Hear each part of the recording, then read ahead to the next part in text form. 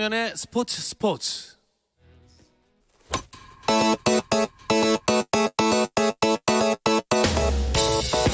색다른 시선의 메이저리그 이야기 헬로 MLB 시작하겠습니다. KBS 정현호 스포츠 PD와 함께합니다. 안녕하세요. 네, 안녕하세요. 자 이틀 연속 만났네요. 그러게 말입니다. 어제는 KBO 리그, 오늘은 메이저리그.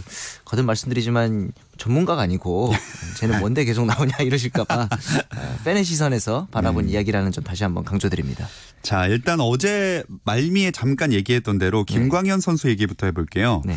김광현 선수는 포스팅 시스템 참가 공시부터 해야겠죠? 그렇습니다. 이 어, 규정을 좀 설명을 드리자면은 처음에 이제 SK 소속팀인 SK에서 posting 요청 공문을 이제 보내야 됩니다. 음. 이 공문에는 김광현 선수의 의료 기록 자료도 물론 포함이 돼 있고요.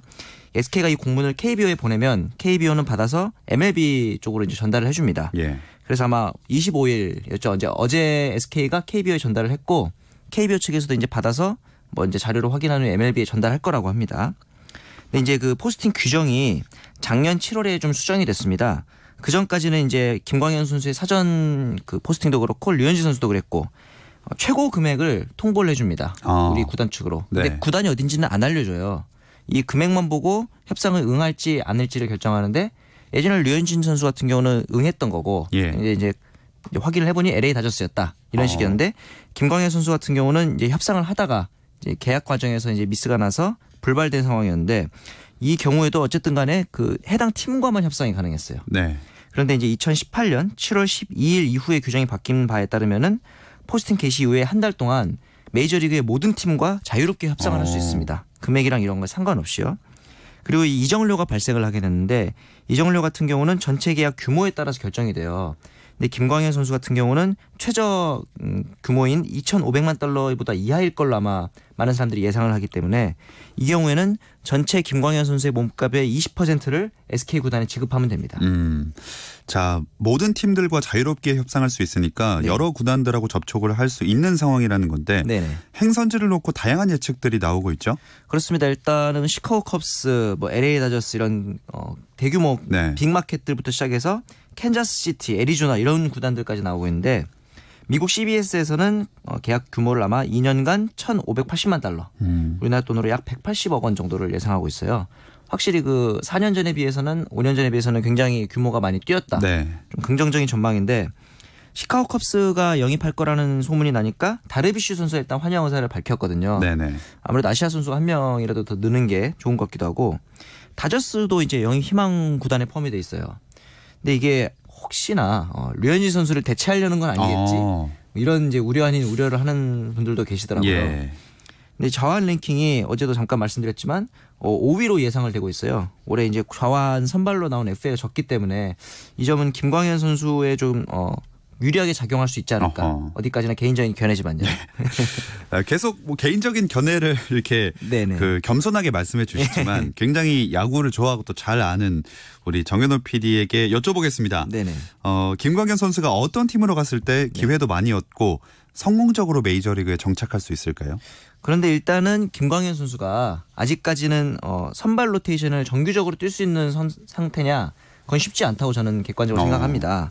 왜냐하면은 이제 스프링 캠프나 시범 경기에서 당장 어, 기존 선수들만큼 보여줘서는 그 자리를 뺏기 어렵거든요. 예. 그 이상의 모습을 보여야 되기 때문에 일단은 로테이션에 바로 진입하기는 좀 어려울 것 같은데 그럼에도 불구하고 좀 긍정적인 어, 전망을 내보자면은 미 서부 도시가 일단은 좀 유리합니다. 음. 왜냐하면 이제 한인들도 많고 이제 기후도 좀 온화한 편이라서 LA 다저스 그리고 샌디에이고 예전에도 한번 접촉을 한 적이 있었고 애리조나 이런 팀들이 있고요. 반대로 이제 동부 쪽이랑 그 다음에 뉴욕 같은 경우는 팬심이 워낙 센 구단이잖아요. 네. 그래서 이제 팬들이 워낙 극성이라서 어, 김광현 선수가 조금만 부진해도 이제 뭐 비난의 음. 그런 여론이 쏟아질 수 있기 때문에 좀 걱정이 되고 또 이제 영입 희망 구단 중에 하나인 미네소타 같은 경우는 날씨가 춥습니다.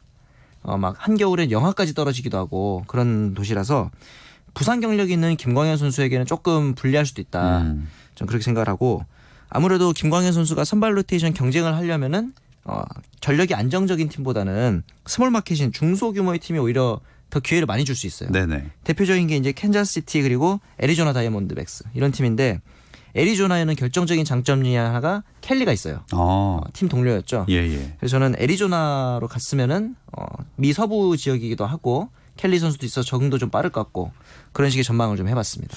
자, 애리조나를 예상하셨는데 네. 과연 어떻게 될지 한번 궁금해집니다. 네. 또 류현진 선수가 이번 시즌에 처음으로 도입한 올 MLB 팀 후보의 이름을 올렸다던데 네네. 이올 MLB 팀 대체 뭔가요? 어, 쉽게 보면 이제 시즌 전체를 통틀어서 보는 올스타 투표라고 보시면 돼요. 이미 NBA랑 NFL 미식 축구에서는 올 NBA, 올 NFL 팀을 선정하고 있거든요. 네.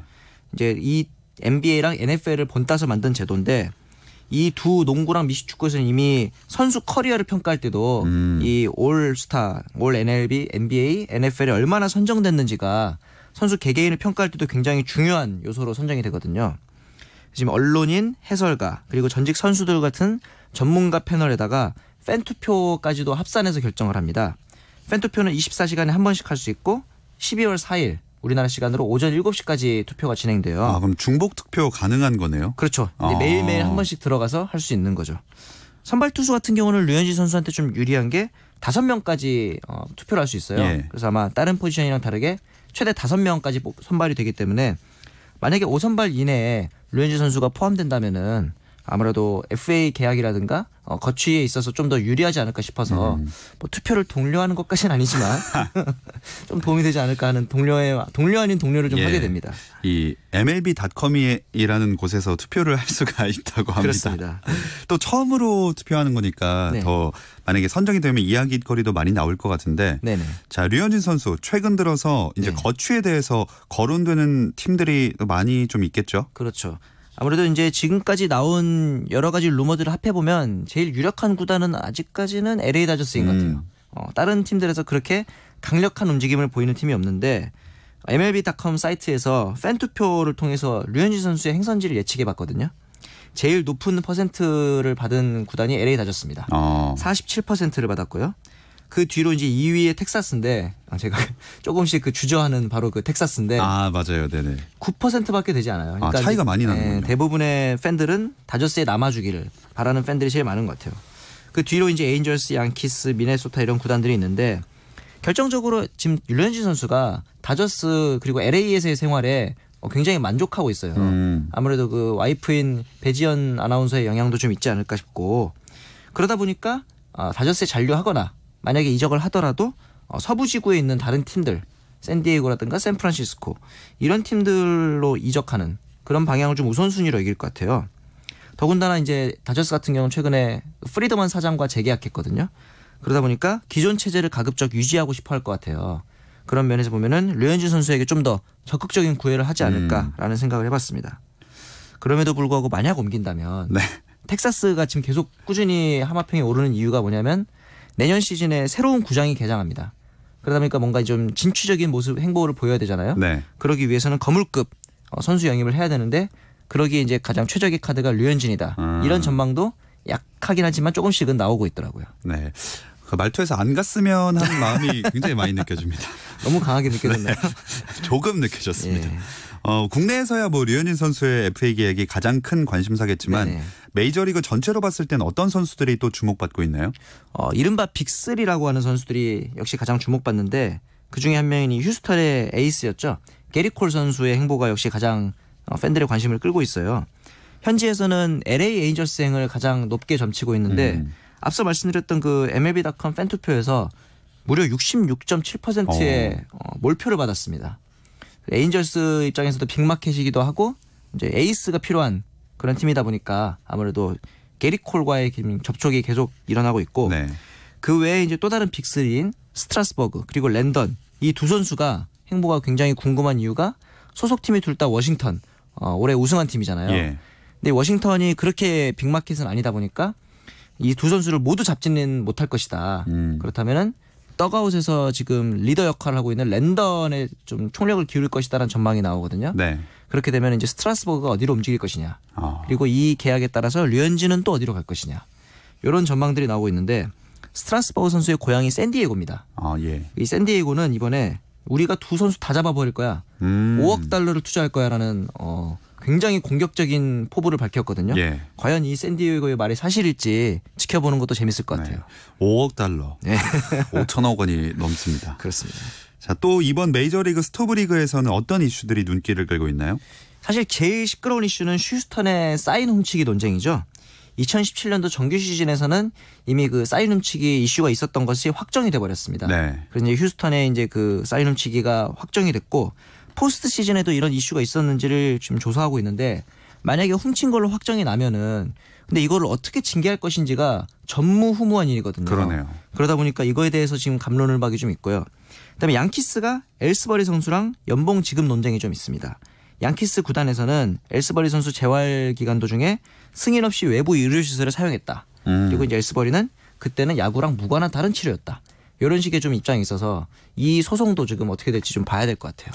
네, 오늘 이슈들은 조금 안 좋은 쪽으로 많이 만나봤습니다. 그러네요. 자, 메이저리그 이야기 여기까지 나누겠습니다. Hello MLB KBS 정현호 스포츠 PD였습니다. 고맙습니다. 네, 감사합니다.